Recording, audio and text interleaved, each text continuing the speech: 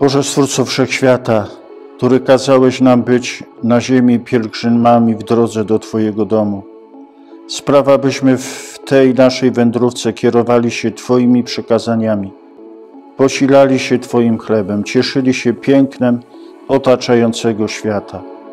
Udziel nam łaski, byśmy zawsze trwali przy Tobie, a wakacyjne wypoczywanie niech będzie przed smakiem wiecznego odpoczynku w Tobie. Przez Chrystusa Pana naszego.